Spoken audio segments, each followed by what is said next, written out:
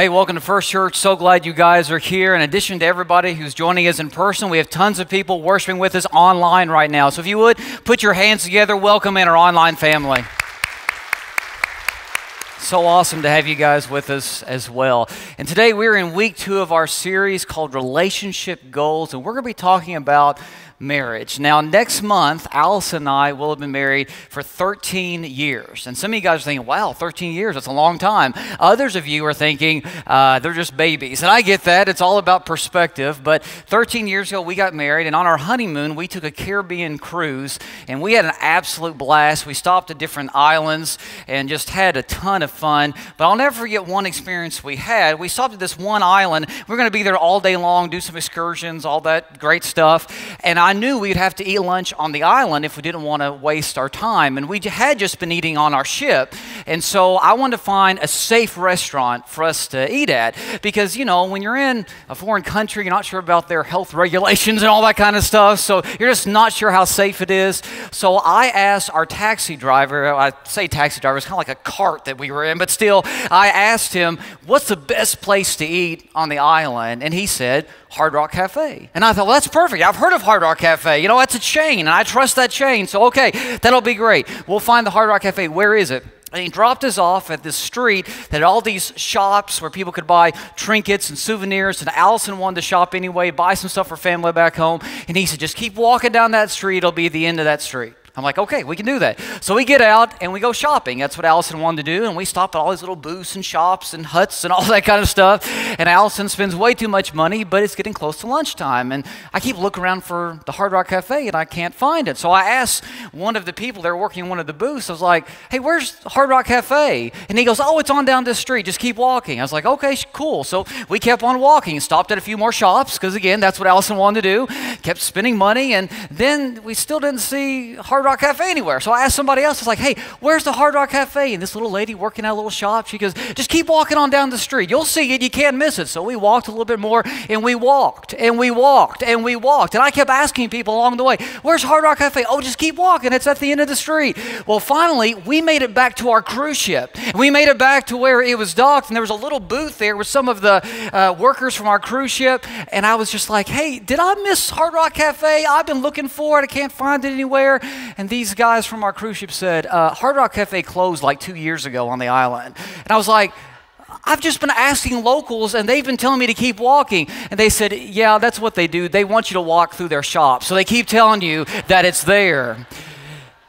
You ever been hangry? You know what I'm talking about? You know, hangry is a combination between hungry and angry. That was me in that moment. And I was frustrated, but I didn't want to show myself. You know, I'm newly married, I to still impress my new bride, you know. So I was like, okay, well, where's the best place to eat on the island? And the guy looks at me and he said, honestly, you really want to know the best place to eat on the island? I was like, yeah, tell me what it is. We're hungry.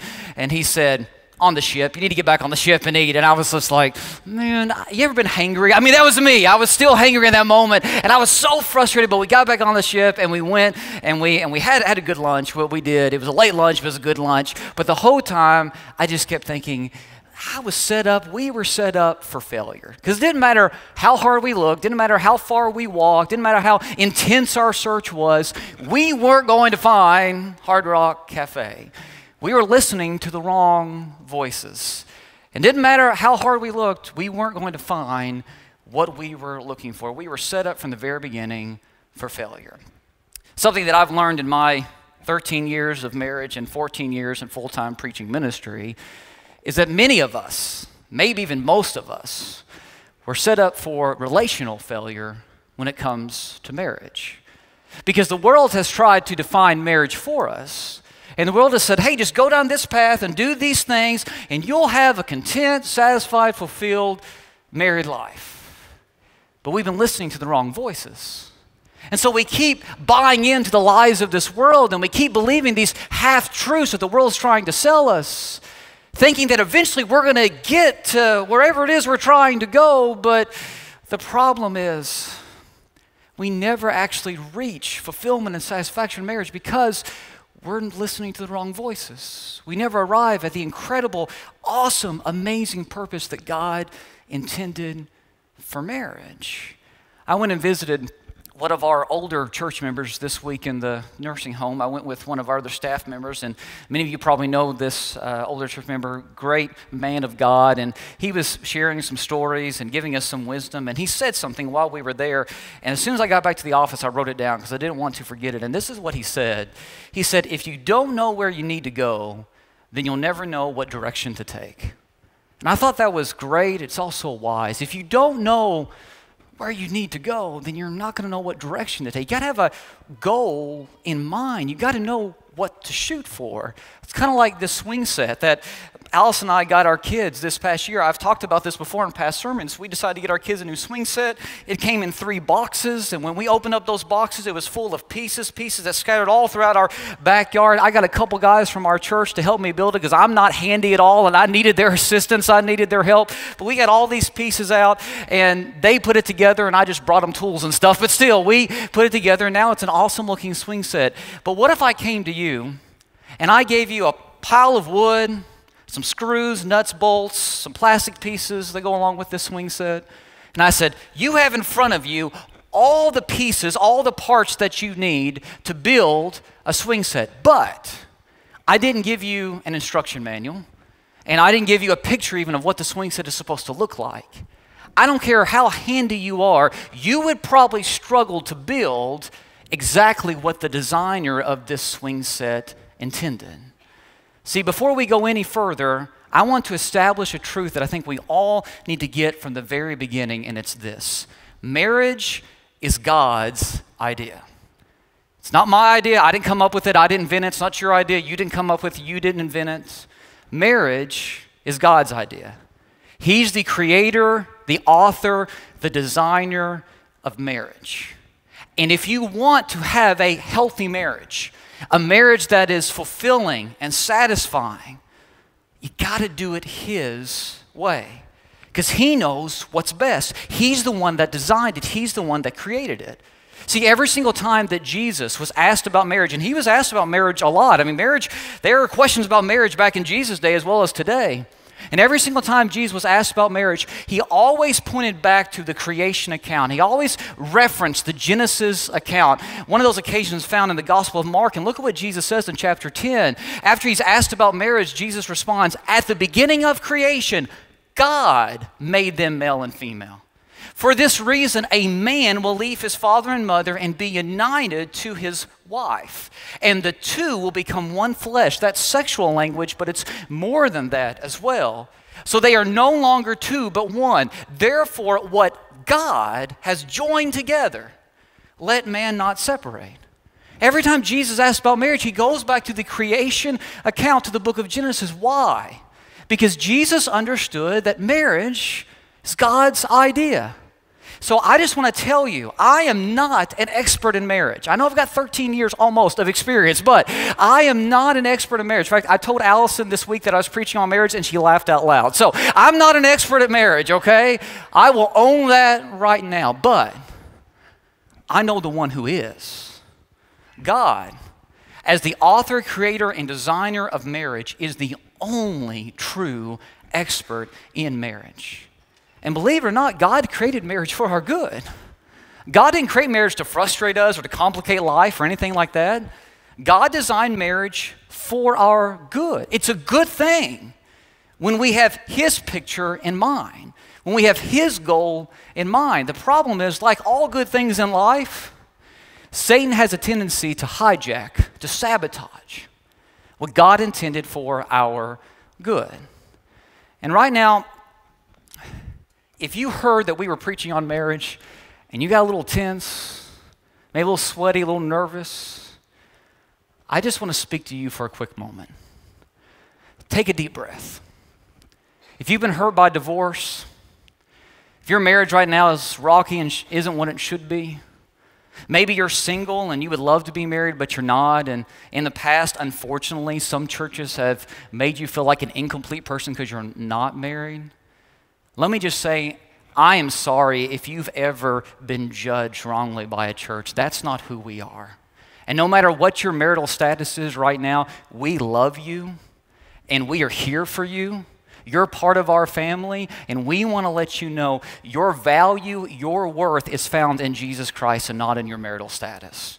So I just want to get that out right now because our value, our identity is not defined by what we've done in the past or what's been done to us. It is defined by what Jesus did for us on the cross. So, if you've ever been in a church that has put shame on you or made you feel guilty because of your marital status or past marital mistakes, that's not us. I just want to let you know that we love you. And we're going to talk about marriage today, even though it might be a little bit of an uncomfortable subject, because I believe that marriage will help us understand who God is. And I believe that the only way that we will have healthy marriages, the only way that we will reach the full potential for good in our marriages is if we do it God's way. And I think this sermon can teach us a lot about God, whether we are married today or not. Because, like I said, the ultimate goal of marriage is to help us understand the love of God. Whether we are married ourselves or we just witness marriage when it comes to other people's lives. See, listen to what Paul says in Ephesians chapter 5.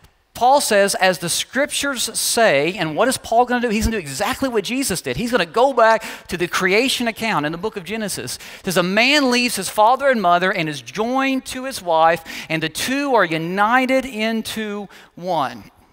This is a great mystery, but it is an illustration of the way Christ and the church are one. So I want you to notice a couple things that Paul points out here. Paul gives us here God's picture for marriage. He goes back to the creation account just like Jesus did. He lets us know marriage is God's idea. And the first thing that Paul does is he gives us God's intended structure for marriage. And you probably saw this when Jesus quoted Genesis and here when Paul quoted Genesis as well. God's intended structure is this God intended marriage to be a relationship between one man and one woman where he unites the two as one. He unites the two as one. Guys, just because you have sex with somebody doesn't mean that God has united you as one, okay? God is the one who does the uniting together when you enter into a covenant relationship with Him. And God intended marriage to be a covenant that one man makes with one woman. Now, I want to acknowledge this is not a popular structure for marriage in some, uh, among some groups today. And I know that. And some of you right now may not like this definition, and you may even be mad at me for saying it. And I just want to let you know if that's you, if you don't like this definition, if you're mad at me for saying it, I just want to let you know right now I love you. And I'm not mad at you. And if you disagree with me, that's okay. I'm willing, our leadership is willing to have a loving conversation with you about this. I don't hate anybody. I love you. Jesus loves all people. And so I'm going to continue to teach this, and our church is going to teach us because, again, we believe marriage is God's idea, not our idea. And our love for people doesn't change the fact that marriage is God's idea. But even if you disagree with me in this moment, I still love you. And if you've ever been made to feel you know, bad or been judged in another church because you didn't necessarily agree with this definition of marriage, I'm sorry that that's the way other churches have treated you. We won't treat you that way. We, we love you. There's no ifs, ands, and buts about that. But I am going to say that even though I said there's no buts, but but but I am going to say, with that said, my love for you, which I don't doubt, does not change the fact that God is the one who created marriage. And I believe the only way that a marriage will reach its full potential for good is if we do it God's way. So, this is God's intended structure. And sometimes in the church, we sit back and we say, okay, I'm married and it's one man and one woman. I got the structure down, so we're good. But that's not the end of the story. See, a lot of times we get the structure down, but we miss God's intended purpose for marriage. And his purpose for marriage is equally as important as the structure for marriage. And so, what's the purpose for marriage? Did you catch what Paul said? After he says it's a, it's a union that God puts together of one man and one woman, Paul then goes on to say this is an illustration of Jesus and his church, how Jesus loves his church. This is what I want you to understand. See, the whole point of marriage is to display God's love that He has for His people. The purpose of marriage is to put God's story, His greater story, on display for the world to see. Marriage is supposed to be an illustration of God's love, His grace, His faithfulness, His forgiveness, His plan, His purposes. That's what marriage is supposed to be. You are to experience that with your spouse, but it's also supposed to be a witness and a testimony for the rest of the world. And when you lose sight of this purpose for marriage, it's easy for Satan to hijack it. It's easy for Satan to sabotage it. And it can happen to the best of us, and it happened to a couple in Scripture named David and Michal. You may have heard of David before. He became king of Israel, and he was known for defeating the giant Goliath. He was also known over and over again in Scripture for being a man after God's own heart. But his wife, Michal, you may not have heard of her. She was a daughter of Saul, the previous king before David. And David and Michal, they love one another, but they let Satan hijack their marriage.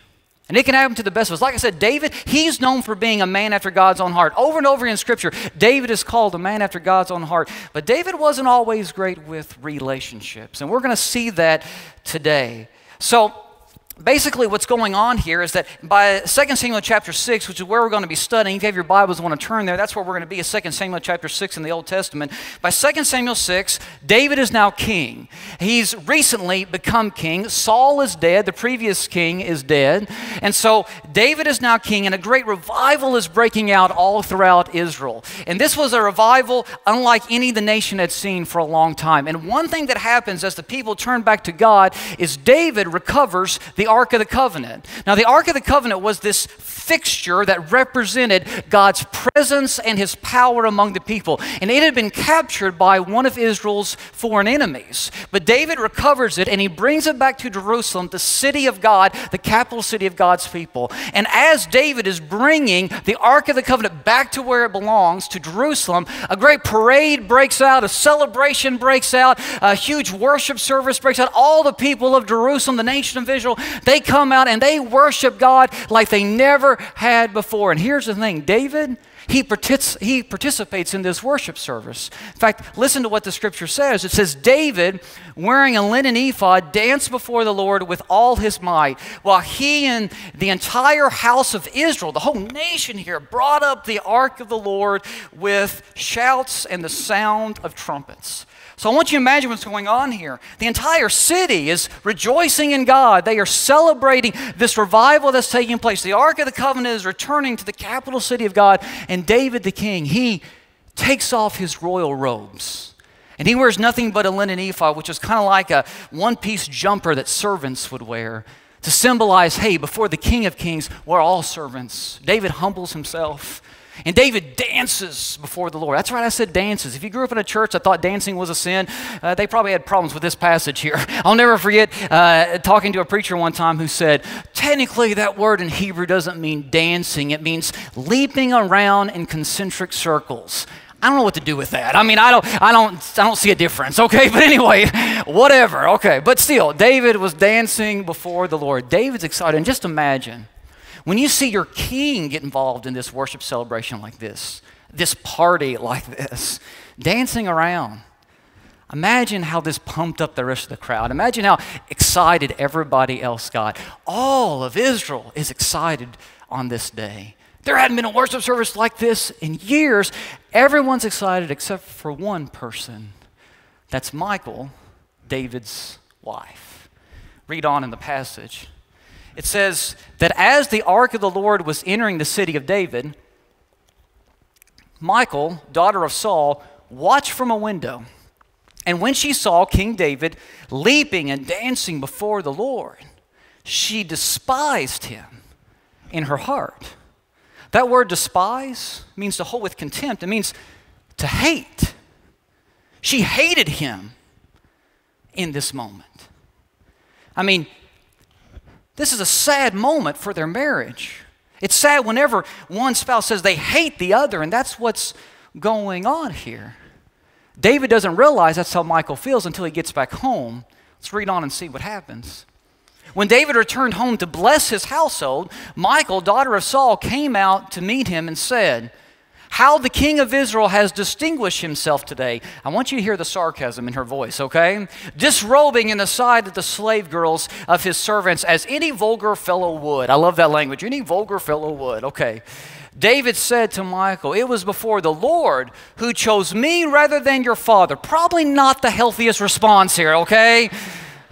Hey, I'm better than your daddy. Yeah, probably not what he should have said, okay, but he did or anyone from his house when he appointed me ruler over the Lord's people Israel.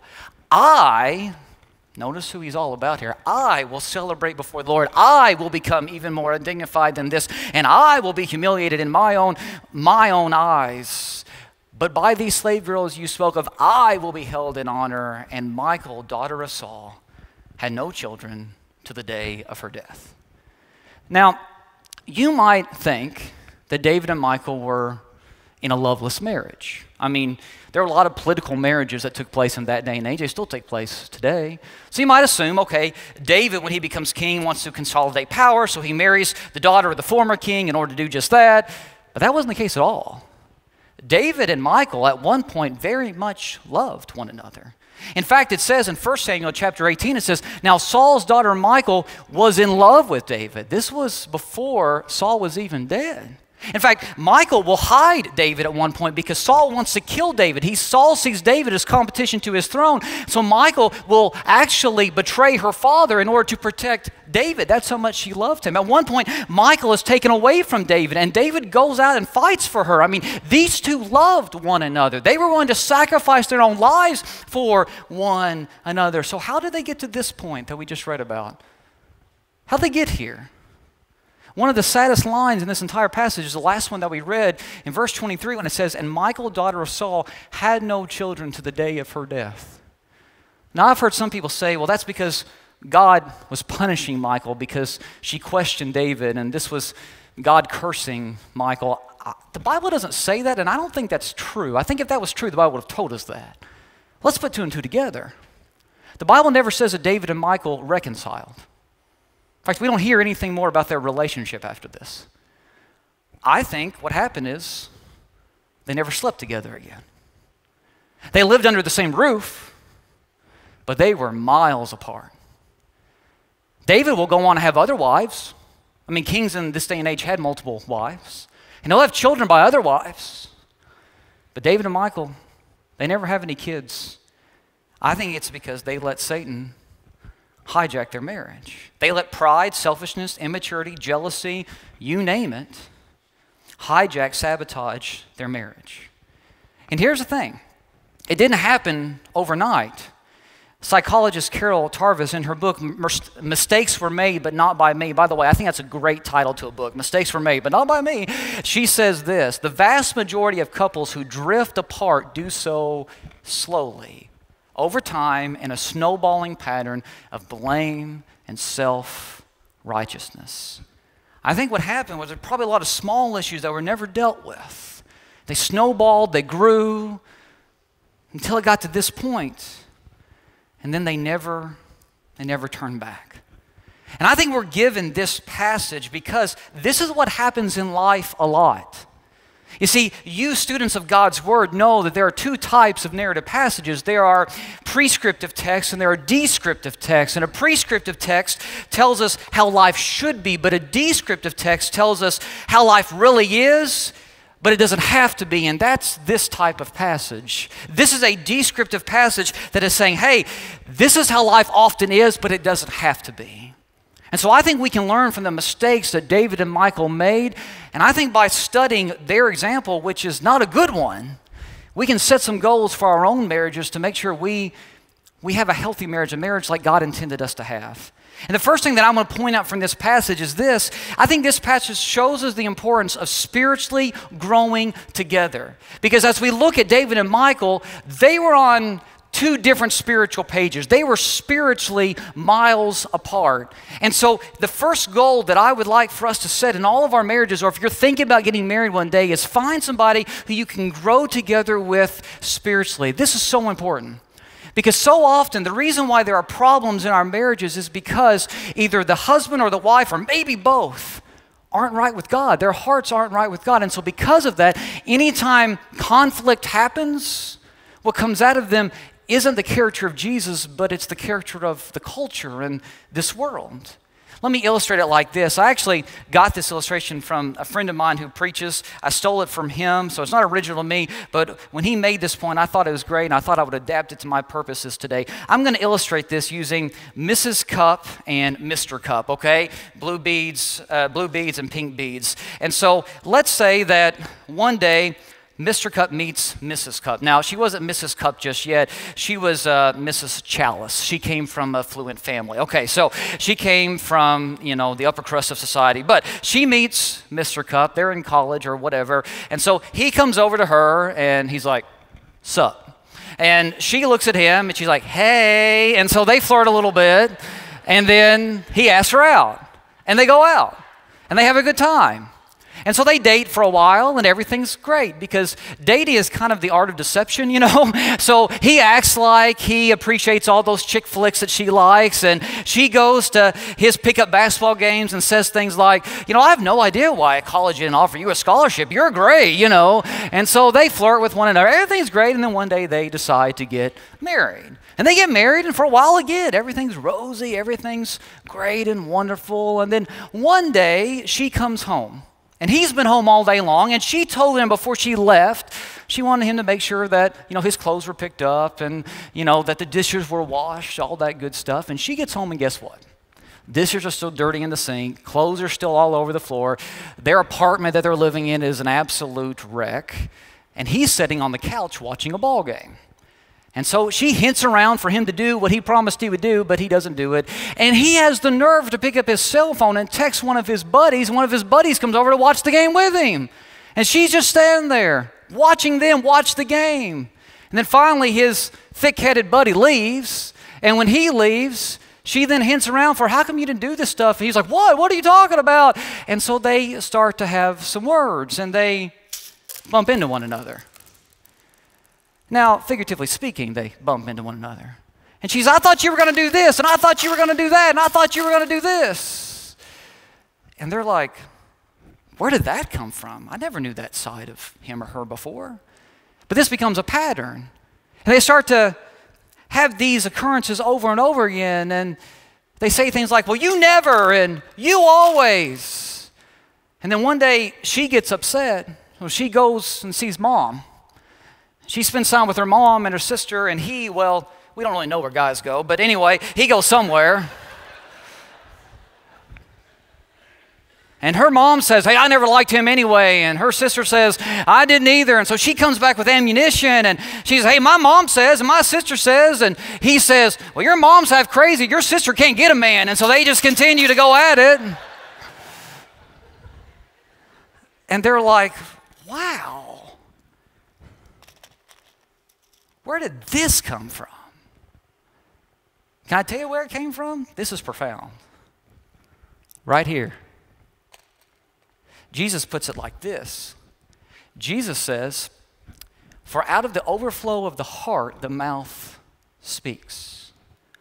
Guys, if you're not right with Jesus, if your heart isn't right with God, what's going to come out of you isn't His love and His grace and His forgiveness. What's going to come out of you is toxic tendencies that reflect the world's character more than his. And that's why it's so important that we pursue Jesus as individuals, but also together as a couple. Studies show that only one in 10,000 marriages end in divorce when couples regularly pray together and worship together. The more time you spend together with Jesus, the more He will rub off on your marriage. Because here's the thing conflict is going to happen. Like 99.9% of marriages have seasons of conflict. You're not going to get out of it, okay?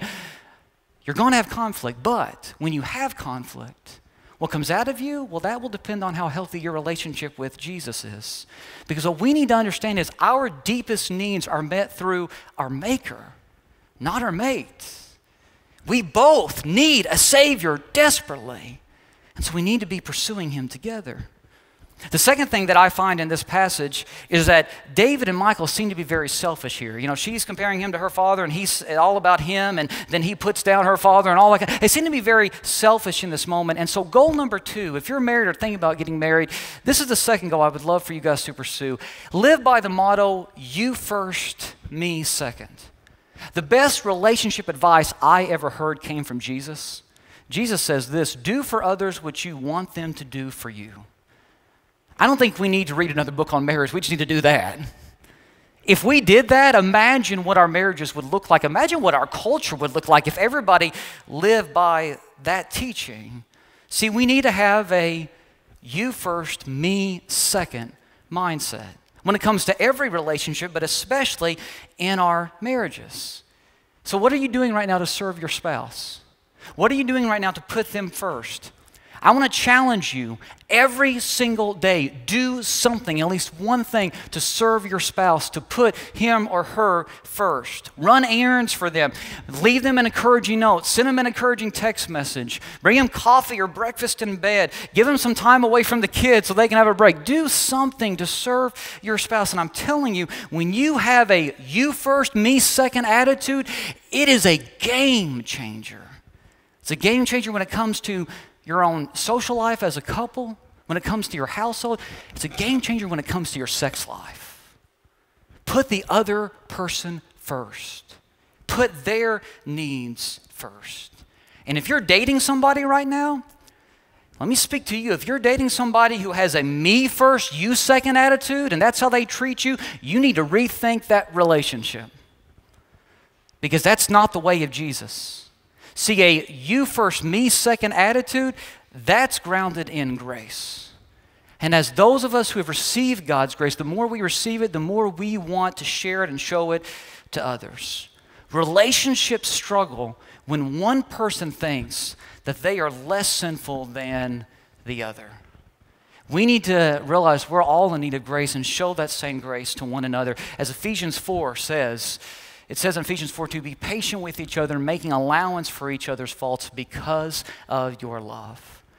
Now, one more goal that I think we need to shoot for that this passage reveals, and it's found in the fact that David and Michal, that they stopped pursuing one another. I said the saddest verse in this passage is verse 23, and it says, And Michal, daughter of Saul, had no children to the day of her death. If I can give you a third goal to shoot for, it's this never stop pursuing your spouse.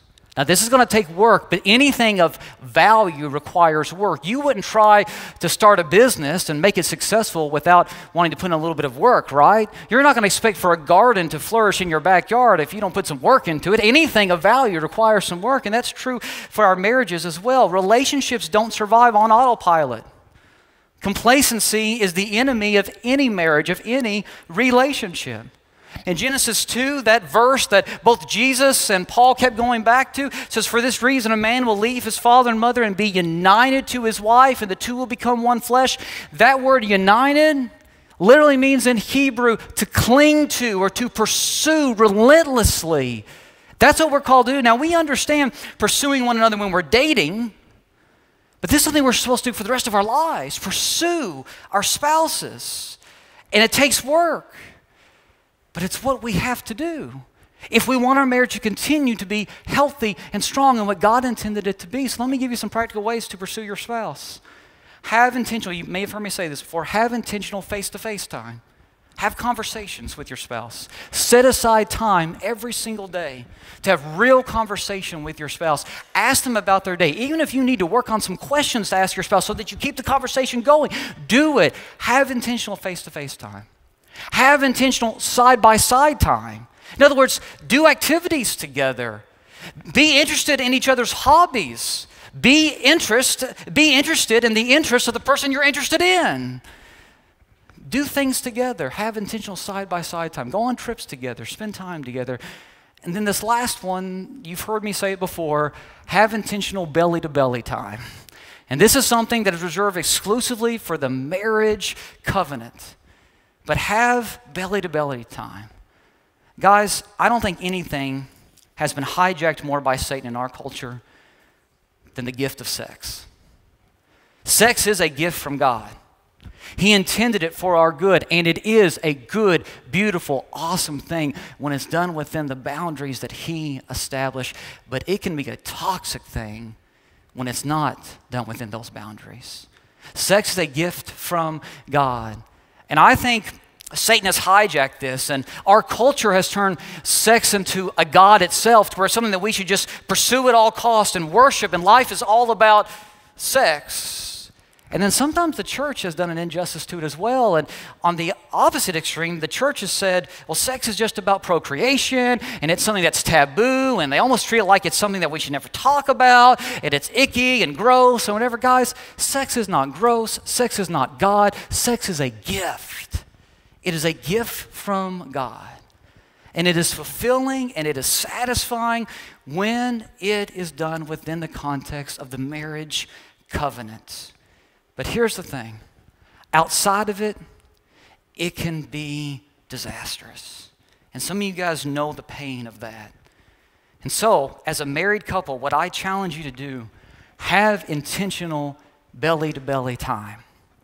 And if there's a problem right now in the bedroom, I bet it didn't start in the bedroom. I bet it started because you weren't having the side to side time or the face to face time. Something went wrong along the way, and, and it affected that. If you want a strong marriage, spend intentional time.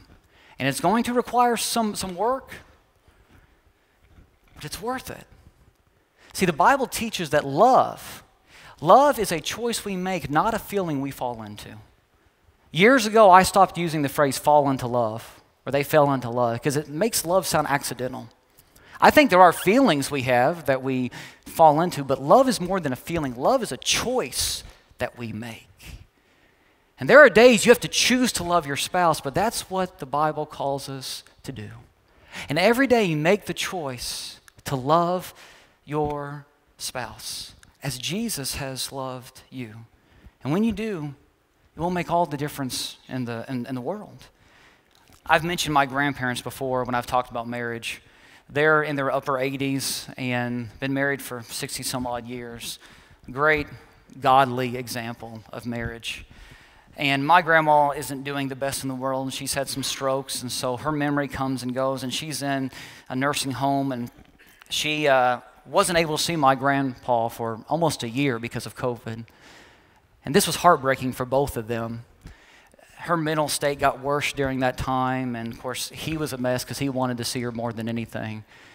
And so they would still talk on the phone, and there would be days when he would get so upset because she wouldn't recognize his voice on the phone. And he would talk to my mom and say, She just doesn't know who I am. And so my mom would say, You know, it's, it's okay, it's okay. She, she's fine, she's being taken care of. You don't need to worry about it. And he would say, Yeah, but I know who she is, and I want her to know me. And it was just heartbreaking to see all this happen. But a few months ago, he was able, a couple months ago, he was able to see her for the first time.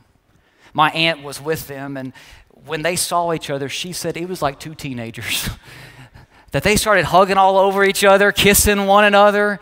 And again, my grandma's mental state isn't what it used to be. And at one point, she looked at my grandpa's name's Dudley. That's a good Kentucky name, by the way. But she looked at my grandpa and she said, Dudley, if you're going to keep kissing me like this, we need to get married. he just doesn't quite understand what's going on. But as gross as it was for my aunt, there was something very sweet about it. Something very well, it's just the way it's supposed to be. My mom got to see my see my grandma and take my grandpa to see her yesterday, and I talked to her on the phone last night, and she said it was the same thing. They only got 30 minutes, but as soon as they saw each other, they were hugging each other, kissing each other.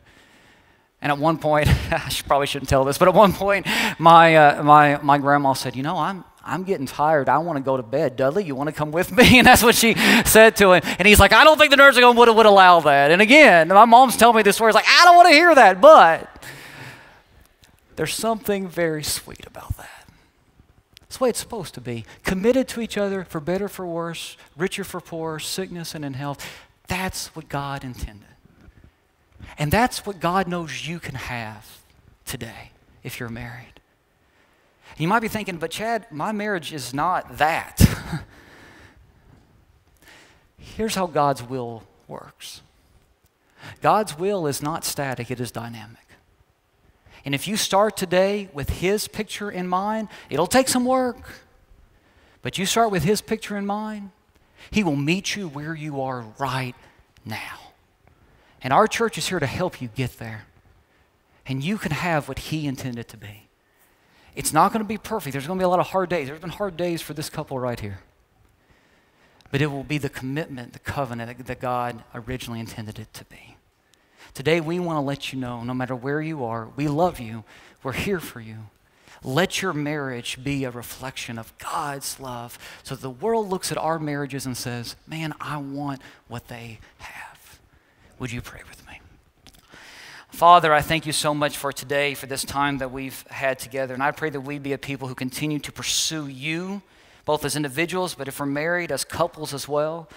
And I pray that if we are married, that we continue to pursue one another. Father, we love you and we know how much you love us. May we continue to follow your picture for life and for marriage.